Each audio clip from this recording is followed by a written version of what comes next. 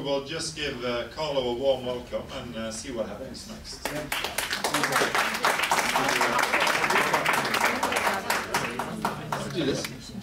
Uh, so yeah, no, it's uh, uh, Jamie unfortunately has a lot of health issues, so we can just all send him our best wishes because he's a real hero of mine and very influential on on my way of thinking. And since I'm not a kid, and uh, there's a lot of people, there's a nice long legacy of ideas here. And this is one uh, one of Jamie's most iconic images. Uh, and it's 1974. Uh, so it sticks out because Jamie's really famous for stuff he did after that. But yet this is this one image that kind of transcends his other cultural uh, signifiers. And it's just shocking when you think 1974. Like, where did this image come from? And, and so I like these buses. It's called buses. And I kind of know where they're going, but, but where do they come from, right? So, I do this again? Do I have to point it anywhere? Okay, I'll do point it back, man. That's where they're going. They're going to something which would deeply impact my generation. They're going to the no future. He ends up doing all the art for the Sex Pistols, so he's the guy who put the the safety pin through the Queen's nose. He's the man who came up with this kind of uh, uh, ransom note lettering, uh, which is de rigueur for all punk posters afterwards. And he's the guy who wrote the lyrics to Anarchy in the UK. But where was that bus to nowhere coming from became very interesting because to me, because I love that, that this new art was dedicated to like the situationist legacy. And so I wanted to go even more old school, but I'm going the wrong way now. So, but this is classic May 1968 student revolts, Paris. Uh, one of the great ruptures in the hegemony of the 20th century. Uh, literally where students and workers banded together and shut down the city and shut down the culture until they could get the changes they needed. And this one's so great now to look at because it's like art is in the street. This is this is this is 68, and now we're in Stavanger, 2015, and we're actually really seeing uh, the manifestation of that. Uh, so that's a particular aspect of the student revolt, of, which was created by the Situationists International, uh, was Atelier Populaire, and we'll look at some of their stuff later. But I wanted to think a little back back earlier for this, because you know was once you start looking, we just had a, a good uh, archivist stuff here, and they'll, they'll tell you it's a Pandora's back box. You want to go back. So uh, thinking of the Situationists, which comes out of the Lettres, it's Guy Debord and another guy named Asger Jorn, who should be pretty famous in this part of the world, but he's a founder of Cobra and uh, co-founder of the uh, Situationists International. And him and uh, Guy Debord did a bunch of uh, books. This one is from uh, Memories, 1959, I think. And this is uh, from Fund de Copenhagen, 1957. And this is the kind of art that they were doing for this writing which would emerge, which would be some of the most scathing critique of capitalist culture ever done. Uh, makes Marx look like he didn't have any balls to make. Those are the books. This is a this is just a great uh, Asger Jorn painting from uh, 62. So this is like the early situationist stuff, but it's the avant-garde will not surrender. And then I got all, it's a weird little cul-de-sac that, I sometimes hit when I'm thinking about things. But this is Cuba Colectiva. This was 1967. This is the Cuban Revolution is happening and it has to be a cultural revolution as well. And they, they have this thing called Cuba Colectiva and it's a hundred artists paint this painting together. Includes Picasso. It includes, I think, Asger Jorn is there. certainly Carlopoulos, another member of Cobra, and a, a brilliant cat. So, and then uh, uh, all these, uh, you know, we were talking earlier about the professional, the amateur. This was some famous artists working with amateur painters as well. Uh, you know, these kind of utopian things that don't really work. And that's actually, uh, that's some of it going on. Do I have a picture of the finest thing? So that's, you know, if you get a sense of that scale, it's pretty hard to get a good picture of this thing. So you- see how it is. And of course, we're, oh yeah, okay, so I get kind of interested in what happens when we have this kind of people's uprising at the same time that the art world's doing something else. The art world's getting into pop art. And how do they cross pollinate? This is, I love this This is May sixty-eight Cuba. We'll get over to Paris eventually, I promise. So we have this great Albert Korda photograph, right? This is, uh, uh, Albert Korda was uh, living in Cuba, photographing, you know, this, Cuba, that before then was a kind of a banana republic for uh, Americans to go get drunk and gamble and uh, sing like Frank Sinatra. And uh, Albert Korda is working with models, and he's shooting for European uh, fashion magazines. He's working with Vogue. He's working with lots of publications like that. And then so he starts photographing Fidel and most famously Che with that kind of style and sexing them up. And then this guy who's, oops, I went the wrong way. Right, so, and I just saw, went by a, I went to a bus stop here, some comedian, like, what, what is this thing? Tell me about it. Do you know? There's like some comedian in town and, and they're, they're ripping off the, you know, this has become the most memed uh, joke kind of thing, how much it's been used. It's, uh, it's as ubiquitous as the Coca-Cola label. Uh, but anyway, some comedian in town, some TV show is using this image as well. And I think he's got an N on the hat instead. But, okay, so this is, uh, this is nineteen sixty-eight, and, uh, this is Jim Fitzpatrick, an Irish cat. A lot of people working this way. Okay, so I just thought, oh, let me do this, I wanted to show you how ubiquitous it is. Okay, so on the left, we have, uh, the Day of the Heroic Guerrilla, which is actually what the original Korda photograph was. Uh, and, but this is by a Cuban artist, uh, Elena Serrano. And then, the one on the right's really great because it's one of the best forgery fakes turned authenticated at the end. Uh, this is Warhol, it's a, now called Warhol's Che by Gerard Malanga. Gerard Malanga was uh, this poet who uh, was part of Warhol's Circle, worked a lot for him, did most of the printings. Andy was the cheapest bastard ever, right? Never paid anyone. Gerard needed some money. He made up this piece and he sold it to this museum in Italy as a Warhol. Warhol finds out and it's like, instead of, you know, firing or sending Gerard to jail, he goes, fine, it's a Warhol, give me the money. So it's now a Warhol. That's the wrong way, I go. I'll get this way eventually. So there's some, I think Shepard Fairey ones, the Gigante and the uh, Obey one. Okay, so, um, and they had this huge, it's really weird, is, I don't know, has anyone here been to Havana or anything? It's, it's kind of cool because one of the things you get is like a, you realize, how, at least coming from America, we have a lot of uh, noise pollution, visual pollution uh, in our of advertising all the place, and it's kind of a place they didn't really get that. So it is a really weird uh, urban landscape that way because most cities have so much of that uh, other seductive and coercive stuff.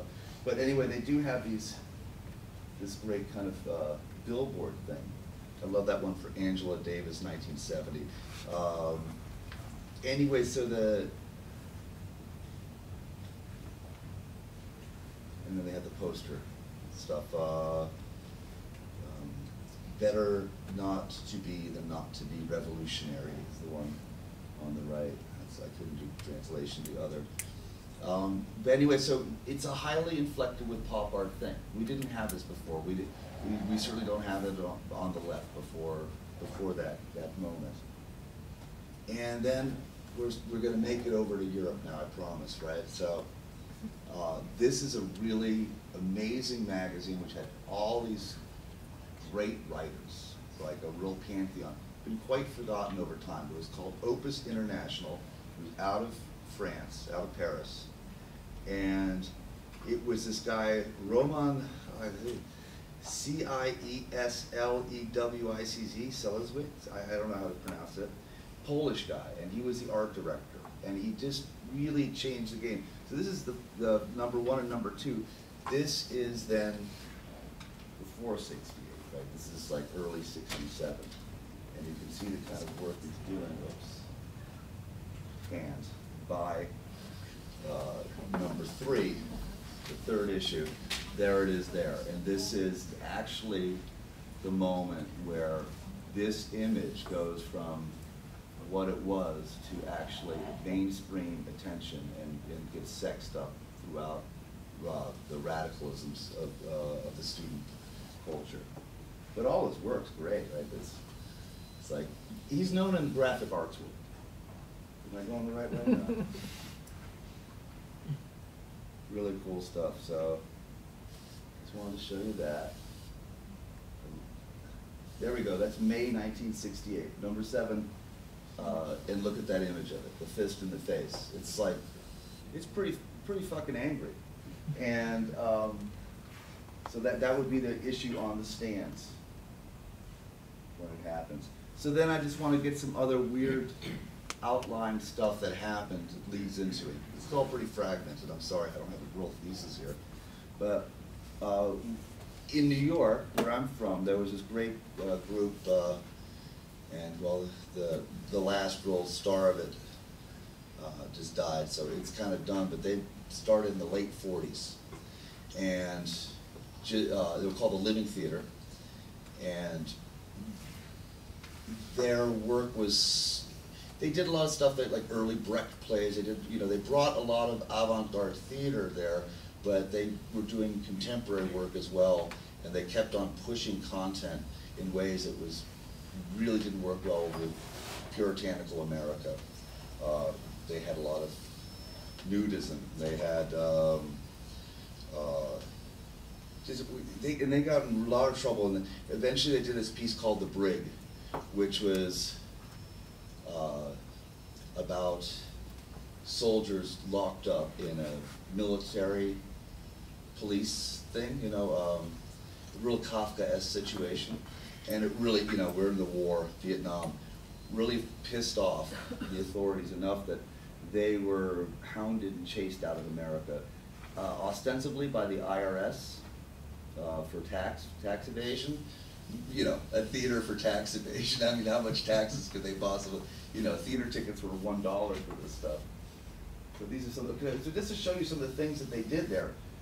Uh, LeRoi Jones later changes his name to Amiri Baraka, he's one of the greatest. Oh, sure. Uh, Amiri Baraka, you know, becomes one of the great voices of, of uh, African American culture. Yeah, I like this. Cool.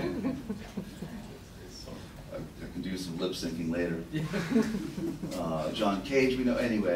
Uh, John Ashbery, the great poet. Look at this. This is the you know Stan Brakhage, uh, Stan Vanderbeek. Like this is beginning of uh, like avant-garde theater. It's really uh, avant-garde film. I mean. So anyway, they get forced to Europe, and they become this huge meme throughout Europe. They're based largely in Italy, but they're traveling all over. And the great thing is that th- at this time they've hooked up. They don't know he's a CIA guy, but they're working with one of the great CIA chemists of all time. He's traveling with them. He's this guy goes by many names. In the end, we finally think his name might be Richard Stark. But every city they ever play in, they're like this, you know, they travel, they do all the street festivals, they do all the theater festivals, they're kind of traveling constantly doing these plays around Europe. And this guy's with him.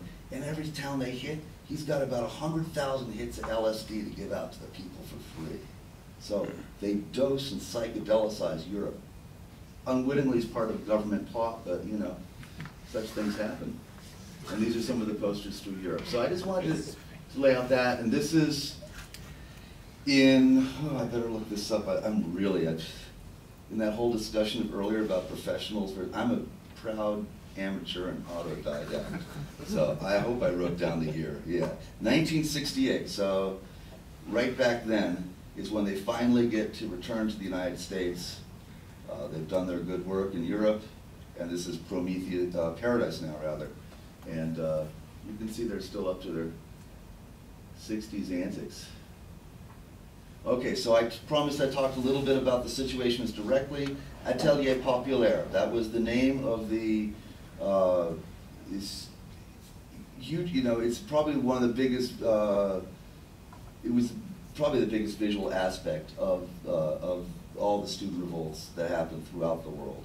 And it was a poster program, and they just printed thousands and thousands of posters for each one. So you see them working on this one here, and that's the, the image, uh, light wages, heavy tanks.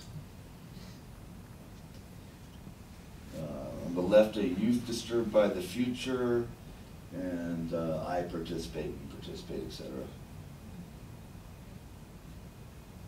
Uh, bowling for government. Return to normal. I mean, I, some of these things just ring so great because I remember like after 9/11 that we had this really dumb president you might remember, and he called it the new normal, and I was like, oh yeah, that's it. I felt like a sheep back then. Um, so the, one of the big occupations, in, in a lot of these revolutions, people kind of forget how much it's a student thing. That's why dictatorships love to shut down the universities first thing. And then actually that it's quite often the art schools are the, they're, the- they're the kids who really go crazy. So if you look at the Tiananmen Square, right, the big symbol of that was the art schools built this huge Lady Liberty, Statue of Liberty. And that's actually, that became the focal point for anyone who is in Tiananmen Square at the- at the time of the protests. Uh, It, it was the only thing you could really see, so you could, you know, like if you're at a big concert, like one of those festivals, you kind of have to keep track of that tree or that sound tower, otherwise, you know, because it's so many people. So it's like that, and it's actually where when the tanks came and ran over those last kids, that's what they were standing to, screaming like, "We love you." So in in uh, in Paris, the the big occupation, the original occupation, was at the uh, the Beaux Arts uh, school, and so this is the police post themselves as the students, you know, post to the street. Um, let's keep going. Sorry. Uh, the struggle continues. This, I mean, this is kind of classic policeman. This is, this becomes part of the vocabulary. It's almost like a cliche of street art, these kind of things. And they put the SS symbol on them and we are the power. So I want you to see that stuff. And then the other kind of visual evidence we have out of uh, this situation, this situationist attack that way, was the graffiti on the street. And um, uh, this is the one which, for which this, uh, this, uh, this festival is dedicated, right? Except it's, it's such a, you know, they're Brits running this thing, right? So it, it, they did like, what do, what do the English call uh, the pavement? What do you call it? Pavement. The pavement stones, it's under the pavement. I mean, how do they get, how do you get like that, you know, it's like, what's our translation of this? I say under the pavement, the beach, but, Yeah, I think Yeah. Yeah, but whatever, someone did like, I'm surprised it wasn't translated like under the tarmac. Anyway, uh, so this is just a beautiful bit of like magical thinking, the kind of the idea of like where in this idea of street art, can it be an intervention? Can it be something which just gently slaps us out of this quotidian experience we all have, right? This, um, just somewhat take the, the blinkers off or something, just so we can see. And that's, that's the, the, you know, just to go like, yeah, under here's a beach. It's just, it, it's such a powerful thing. This is, culture is the inversion of life. So it, what I'm doing here, I have to admit, is really wrong. Because their whole thing was like, they were really kind of against, you know, they're typical artist revolutionaries. They were kind of against art. Because art was this fetish of culture. It was this commodity. It was all these things like that. So all I'm doing is now fetishizing their struggle, you know, and, and they actually left very specific instructions. Like for the posters, like these can never be sold. They should never be in a museum. They should never be looked at as art. These are merely, you know, the tools of the revolution or something like that. So an asshole like me is like, I'm really the enemy. So I'm just trying to speak for them, but it would have been better if Jamie could have corrected me. Uh, it is forbidden to forbid. Never work. This is a motto I followed as much as possible. Uh, create or die. And how can you think freely in the shadow of a chapel? And then below that is the power is in the street, not the polls. And then I want to show you, that these are also uh, early situated. This one's earlier. This is Brassaï, a great, you know, photographer based in Paris. This is like 61, 62, but it is a, a situationist thing, because as we know, the situationists go back into the 50s. Um, and uh, and then this other one's really great.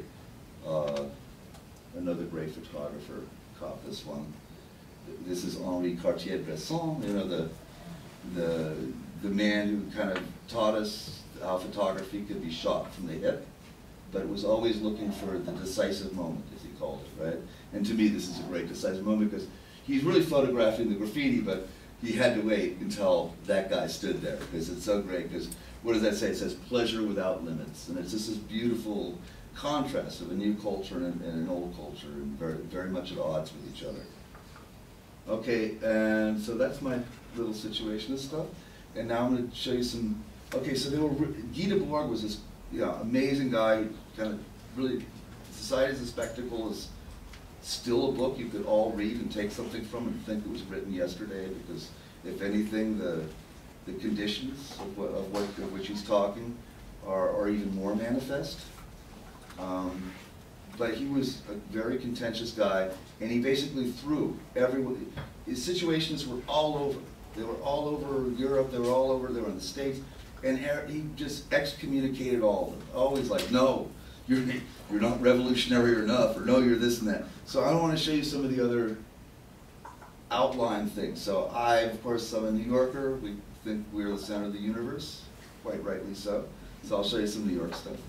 This is Black Mask, and these are just some early issues. This is all, I guess they're kind of like 66, 67 is what I'm guessing. They don't last long. This, and this is really one of the only really uh, great protests they did. They, they really didn't last long. Um, but this is Larry Fink, very famous uh, street photographer, um, captured this uh, black mask protest down by Wall Street in '67. So out of that splinters something even more radical.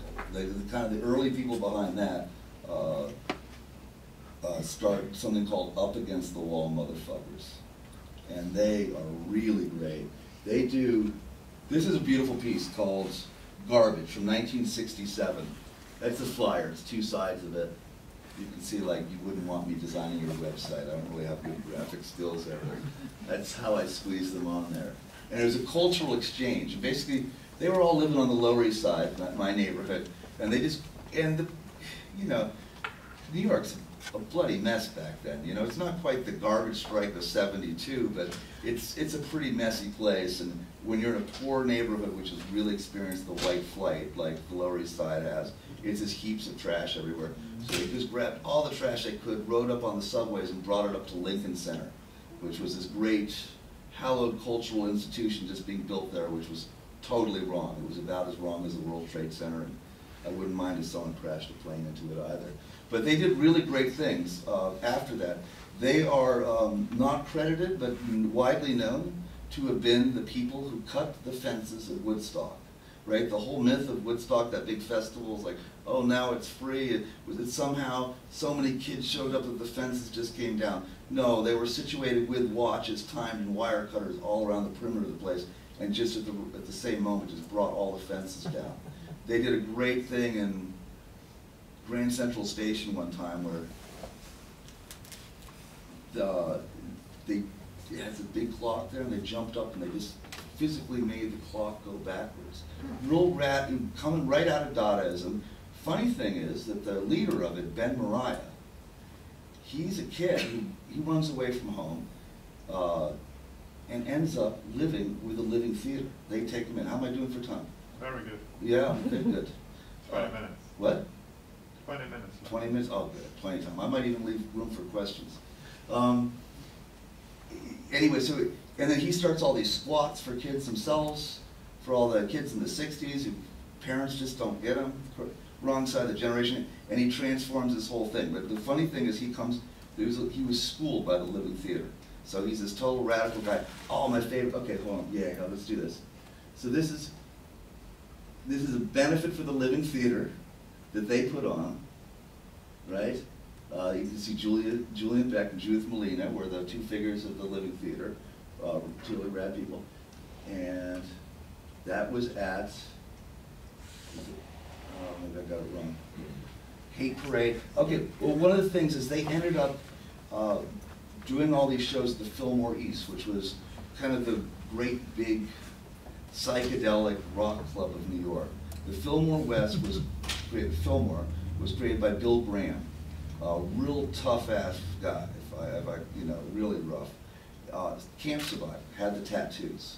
So, you, you know, he was a good early rock promoter. He could beat those bands down and shake them down and make them play for free. And launched a lot of bands that were very synonymous with the 60s. Uh, the bands that came out of there would be Big Brother and the Holding Company with Janis Joplin, Jefferson Airplane, all these things kind of came out of that San Francisco scene. Well, he opened a big club in New York, and Ben goes down, he's up against the wall motherfuckers, and he goes, you gotta do something here for these kids for free. You're charging like three dollars to see Jimi Hendrix, you capitalist bastard. You know, we need the free things. And he got people to, he got them to do it, but the way it went down was that Bill Graham goes like, look, when I opened the Fillmore, uh, the first one, the Hells Angels told me they want what they wanted for me to be able to do this. And I stood up to them I said, no, no, no. And then he, he pulls out this drawer, pulls out like five bullets, and each one's engraved with a, I don't know if you know motorcycle clubs, but they have different chapters. And one was Oakland, one was, you know, San Francisco, one was Sausalito. The five local chapters of the Hells Angels each gave him an engraved bullet, which meant like, okay, you have permission to do business in this town with the counterculture. And so he shows them to Ben Morea. Ben pulls out a gun, puts it to his head, and goes, "Do you want yours from me now?" So that's how they got to do their free nights. I'm sorry, it was such a good tangent. uh, back to England. I don't know. I thought I had some. Oh, there we go. MC5, the Fillmore. So that's the kind of things I got. Now, do you know the MC5? I shouldn't get off on that tangent. They're really good, the White Panther Party.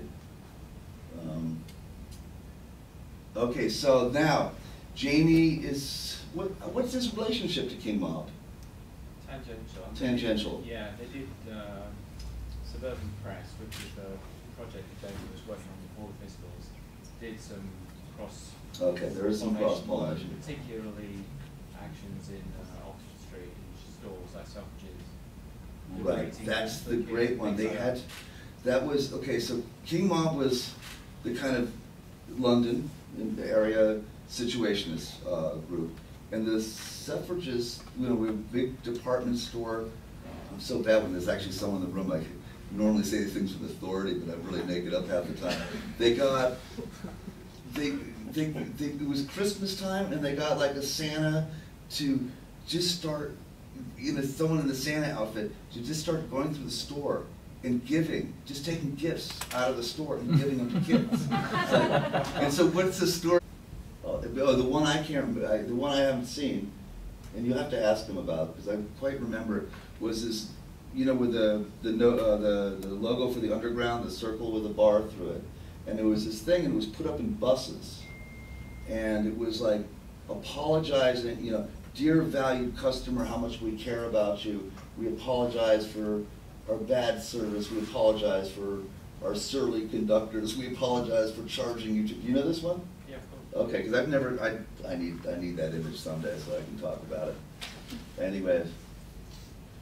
Uh, Actually, uh, just if I can just butt in one time. Yes. That particular piece ends up by saying maybe, maybe if you can all talk to each other, then you can get, we can change things. Yes, no, it's, So a- it starts off obviously with this very kind of situationist approach where it looks like an official sign, but eventually, once you, as you continue reading it, you Yes. the idea actually it's, it's something a little bit more radical. Well, and then what it really starts out with is it really starts out in the official speak. It's like, dear value, you know, we are trying harder to please you, we, you know, but we're sorry about, you know, but it is, you're right, that's a beautiful arc of the narrative of it. And this would be the kind of thing you put up in the store and probably, a lot of these strategies are, are being used by contemporary artists today, and I could have done a whole talk just about that, but I did promise I'd show you some of the other people. So Gee Vaucher, um, did all the art for Crass, which is a first generation punk group. Uh, founds Dial House, right? Doesn't she? Yeah. So she's a uh, she's pretty successful artist now, in part because there's this artist out of England who uh, has done pretty well, and so he like makes all her prints and stuff, and it's Banksy. And so if you look at Dismaland, you have to look it through the filter of the artist you know, the street artist most directly informed by the situationist movement. So that's the people, sometimes that gets lost in the translation, but anyway, Gee's great. These are just record covers.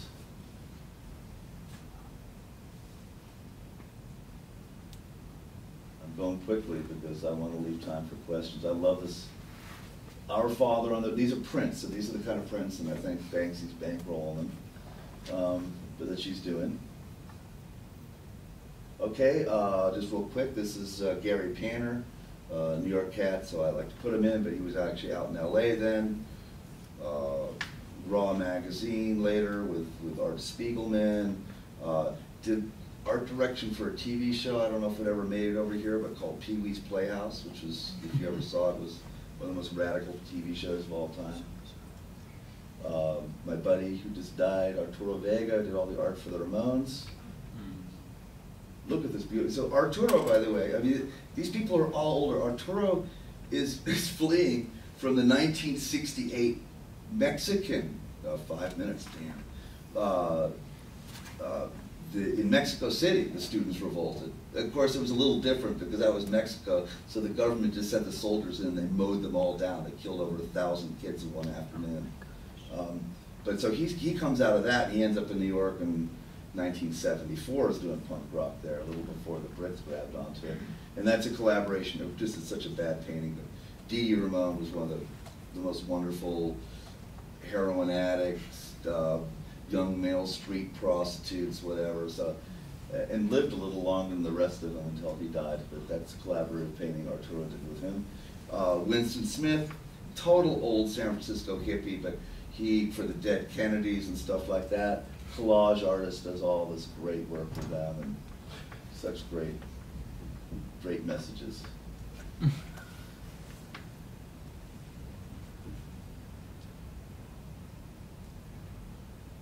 Uh, okay, Raymond Pettibon, little later, this gets closer to something we call hardcore, but uh, Ray's brother is Greg Ginn, uh, has a band called Black Flag. Uh, they totally, they totally fucked with Ray's work, but he would take, Ray was, had a lot of tech stuff going on, but of course that didn't work good for music album graphics, so his brother would just grab bits of his brother's drawings and art direct around them, but those are some of the famous record covers he did did a lot of zines. See, a lot. He did a lot of stuff about Manson. You know, kind of glorifying like the bad part of the '60s. That would be, you know, if you think about its un, uncomfortable relationship between punk rock and, and the '60s legacies. One of the things is that just look, enjoy the negative stuff. Is that the last one? I hope so. It'd be such a good one to end on. Yes, it is. Let me keep it back on. Okay, questions? What's this last one? What I, that? oh, it's just, I, I just think it's really funny. The rigor mortis set the girls off to fits of crying and moaning, because the guy's got a heart on the corpse. What a waste. So, you know me, I've got pretty lowbrow humor. I, if there's no questions, that's fine, it was a lot of information to download, I so. have a question, Carlo. Okay. How do the Fluxus kind of fit into like the late sixties Well, anti-art, anti-style, um, uh, you know, uh, there's two things of, of Fluxus, and they're, and they're a little earlier than, than most anything I've shown you. Um, in, you have the European kind of model, Joseph Beuys, uh, and the, you know, he's really, he's kind of serious. I'd say Maciunas in New York is, you know, they, it's a little more, little more whimsical. I mean, I would have to say it has to do with humor, right? Like, um, Yoko Ono had some humor, Nam June Paik had some humor. Joseph Beuys was a, German, what did we say? He had about as much humor as a, a Wiener Schnitzel. Uh, the, I think they were countercultural by nature, but they weren't part of the counterculture. They were weird artists, right? Is that, I think that's a fair way to put it. Yeah. But you know, but George Maciunas was inherently a criminal, and so he did do some great things. I mean, one of the things he did is he, he basically took over Soho. So the first great downtown art district that New York City has is because this guy George Maciunas basically, he breaks into lofts, he bribes landlords, things like that, and he kind of like starts getting these artists in this disused space, which was supposed to have all been taken down years before. Uh, we had this master builder in New York named Robert Moses who fucked up the Bronx, and then like he had this idea that like he, you know, he wanted to build cities for cars, not for people, and didn't understand the fabric of neighborhoods, so he just ripped them apart. So he had this idea that the West Side Highway and the East Side Highway should connect with a big highway between them, going right through, and would have demolished Soho. And so people, you know, fought it enough, and then the artist took it over.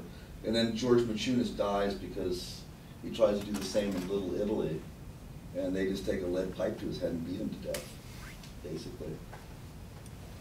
Any other happy stories I can relate? Um, I have a question, and maybe, maybe this is for John as well, but, I um, this, and it kind of leads into the next discussion, but was Jamie exhibiting art for sale during this time? Was there, was there a structure for what he was doing in, a- in a gallery, sort of private sales kind of, uh, world? Not at all. Yeah, okay. No, not at all. He had been at actually three art schools, so he was very much kind of, he was, he was very, uh, had a very attentive eye. Uh, so he wasn't coming at it totally from left field. But as soon as he left art college, he had a choice basically to either become a, a radical artist or to become a footballer. And, you know, If, I know I didn't, it'd be good if you'd done both somehow, but, He was no good. yeah. But, but that was the, that was the thing, but, but there was no structure at all, and there wasn't a lot of people who felt the art at the time for showing work, and he, although actually towards the end of the, the pre-Pistols Suburban Press period, he did actually produce an edition print, but it was given away rather than sold. Yeah. Uh, that's the nearest you can get to that, and he actually didn't exhibit, as far as I'm aware, he didn't exhibit anything until, i- in that kind of context, Yes, in a yeah. gallery context till nineteen eighty, well, January nineteen eighty-four.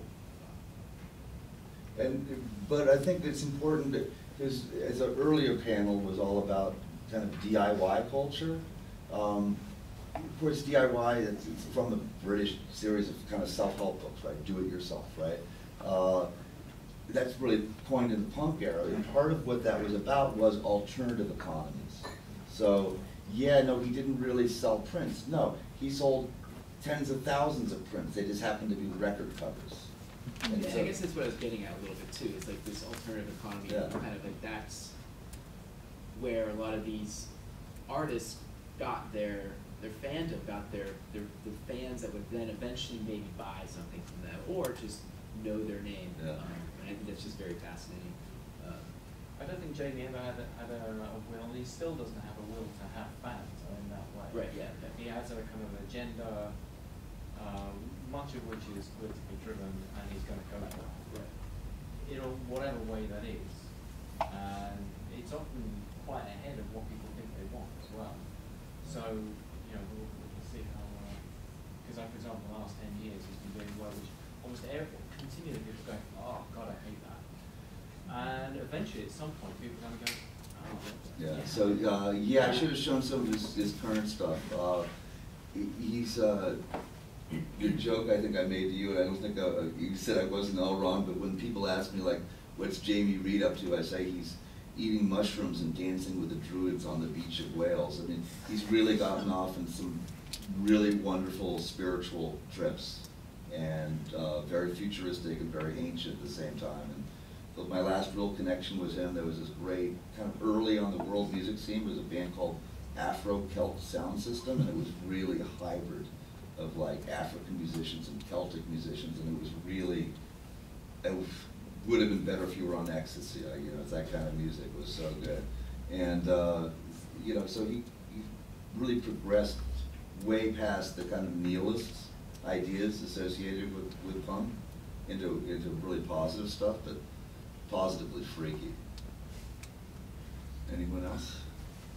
Just about, just Yeah. about how the institutions function in relationship to some of the material you've shown us as well, because I mean, it's sort of uh, ephemera posters and stuff, and I, uh, I'm gathering like a lot of this might come from like the Fales Library or, or specialist archives for sort of underground culture and so on, so, but, um, Well, you know, that's actually, just real quickly, before you get to your real question, it would be interesting, because Fales would never be able to have that stuff, because within, the, uh, and Fales is like the special downtown collections that NYU, New York University has.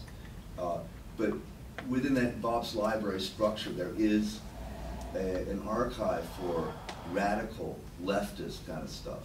And Fales is really all about sharing information, and typical of the left, the people who run on the sixth floor of that library, you can't get in there unless you're, you know, it's like, it's a bunch of a-holes. PhD. Yeah. No, I was just thinking if you had any examples of how institutions would react to the material as it was coming out, because this was material that was spread on the streets, dispersed, you know, on the streets, uh, Right. uh, posters and stuff. The only thing I can think of is Moderna Museum, who had a show with the Situationist in 1969. But that was shut, yeah, it was also shut down. I traveled to Munich when the students got involved and called the local government for Nazis. But sort of, so it was, had the spirit of 69 in it and involved the students as well as it traveled. But that's the only thing I can think of, but I don't know if you have any more Well, there were really resistance to, to institutions and to culture.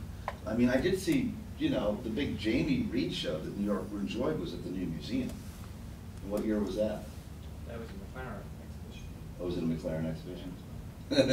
It's funny how I pace things over in my mind. It was never about Malcolm, it was always about Jamie. But, okay, um, you know, I won't read it now, but somewhere that I put a quote, like in this program thing, about what Atelier Populaire said about what could be done with their posters, and they're pretty rigidly against that, so. Um, the Cuba Collectiva thing, I think, traveled, Germany.